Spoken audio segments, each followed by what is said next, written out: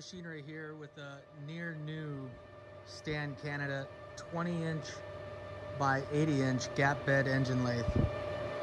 Really nice condition.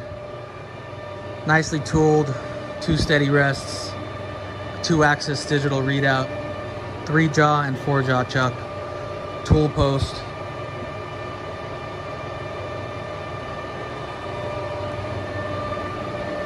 If you have any questions about this, or any other machines that we have, check out our website at wheelermachinery.com.